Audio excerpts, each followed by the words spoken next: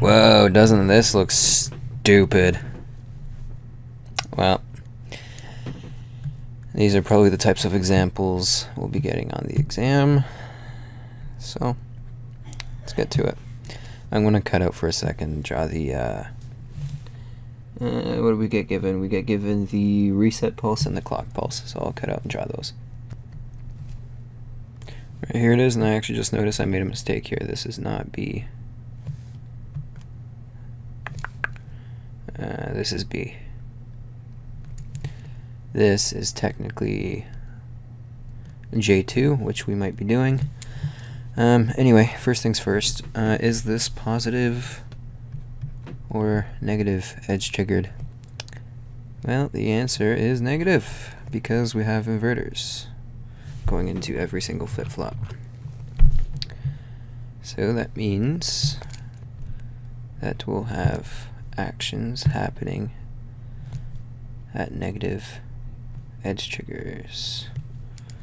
let's do our dotted lines. And yeah, that's right, you guessed it, that reset is not bound by the clock. If you haven't watched my previous video on timing diagrams, please do so, because I talk all about things not being bound to the clock. Okay. So what a reset means is, is well, really exactly what it means. It resets everything to zero. Um, so here we actually notice that the reset is also inverted into every flip-flop. So that means that it will be an active low. Reset. Whoops. That means that it will reset everything when it is zero. So here, reset is one, and then it goes down to zero, and goes back up to one, and then it stays one for the rest of the time. So what does that mean for us? First, we got to figure out which outputs we want to list. So obviously we have to do A, obviously we have to do B, and obviously we have to do C. Um, you don't have to do J2, which is here, but you can, and I will, um, just for the sake of example. It's just really helpful to kind of have it there because uh, you're anding two things. So you can do it in your head if you want, but it's uh, probably better for you to list it. Anyway, so reset here is 1. We don't actually really care about that. It may as well start at 0. Um, so, you know what, I'm actually going to erase that, I think, and make it start at 0. A lot more simple. And where to change again? Sorry, I'm a bit disorganized. There we go. That's where it changes. Okay, so while reset is 0, everything is 0. 0. That's 0. And we actually have to do not Q2 as well because that ends up being our inputs at the start. So we're going to have some things relying on not Q2. And then our J2 will be at the bottom there. Okay, so what's interesting about not Q2 is that it relies on everything else, which means that it's actually going to start at 1 because it has to be the opposite of everything else. I'm going to cut out for a second, finish this up. Alright, so since everything other than the reset relies on the clock, um, for our second clock pulse, everything's going to stay zero. Because we're looking, for the next clock pulse, we're looking just a little bit before here, where the reset is still zero, which means that it's still actively resetting everything. So A, B, and C are still zero. Not Q2 is one, and then J2 is zero. But now the reset is 1, so now we're free to do stuff. Now, because we had a reset, we also now have our not Q2 value, which is what A relies on at the start. So that's some good news. Alright, I can't believe it's taking five minutes to really get into the meat of things. But on um, the second clock pulse here, This is when stuff starts to change. So, let's look at Q2. Q2 is 1 until the second clock pulse. Now, with A, since it relies on not Q2, and we have a JK flip-flop, I drew the truth table here, its inputs here are both going to be 1, which means it toggles right here. It toggles. So that means that A's previous value here, which is 0, gets toggled. That means A shoots up to 1 for a clock pulse. Sorry about that. There. Okay, let's look at B. B relies on, whoops, I think I missed a branch in my circuit here. Yeah, sorry about that, guys. That just comes down here, like that. Okay, so B relies on A. Now A right here is 0, so it's 0, 0. That means there's no change. So B keeps going. B is still 0. Alright, so now we're going to shoot down to J2 because J2 is ANDed between A and B. And it's exactly as you would think that it's done. I know that kind of throwing gates in here might throw you for a bit of a loop, but um, you're really just ANDing A and B before your clock pulse. So we look at it here, where A is 0, B is 0 here, so naturally our AND gate will return 0, and that's good. So J2 comes in and will give us our C. So we're looking at J2, which means that C is still 0. Alright, so not Q2 is uh, is essentially the opposite of of Q, which um, which is C. it's a bit confusing with all these letters.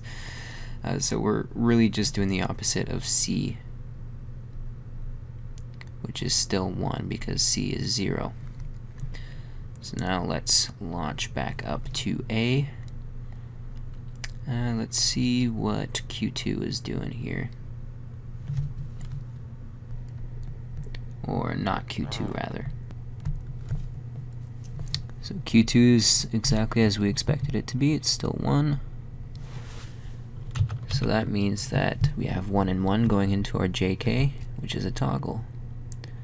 So A toggles its previous value, and we come back down. Now we're looking at B. B is going to be 1 and 1, so it will toggle as well. It toggles its previous value, which is 0, so it shoots up to 1. Alright, now let's look at C, but before that, well, yeah, we should do J2.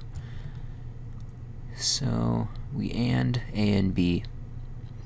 A is actually 1 here, but B is still 0. So that means that J2 is going to stay 0 for another pulse. Now we can go back to C. So what's going into C? Our J is 0, and our previous C value is also 0. So we have 0, 0, which means that there shouldn't be any change, I suppose. So C is going to continue on. And since we're doing the opposite of C for not Q2, it will stay 1. Okay, so shoot back up to A. Uh, looking at uh, not Q2.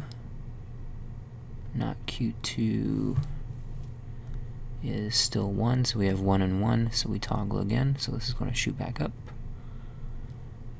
And B is looking at A. A is 0 and 0, so we have no change in B. So this is when our J2 is going to start showing some action. Now we're going down to J2, and we're ANDing, sorry, we're ANDing A and B, which means that J2 is going to shoot up.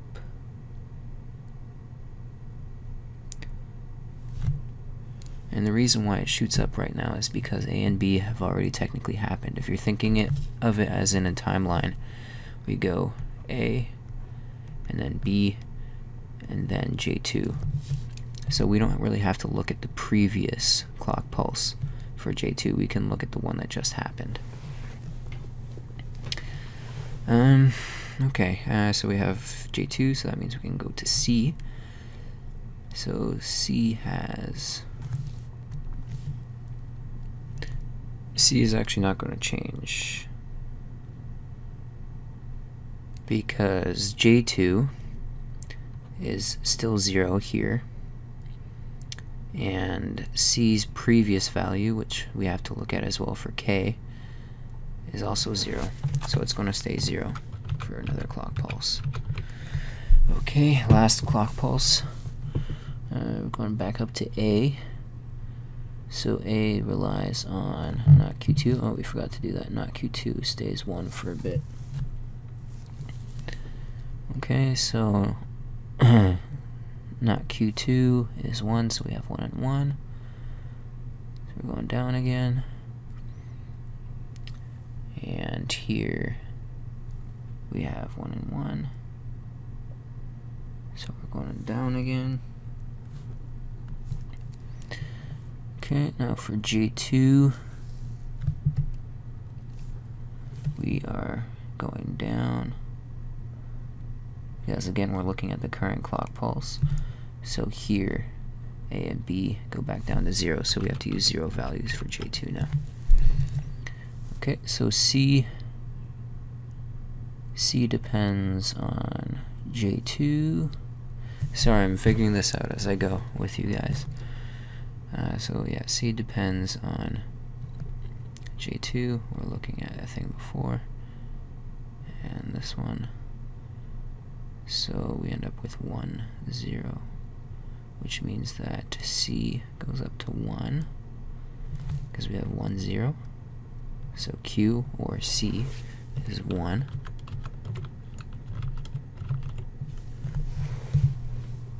Okay. That's good. And since not Q is just the opposite of C, I'm going to go down. Okay, that's it.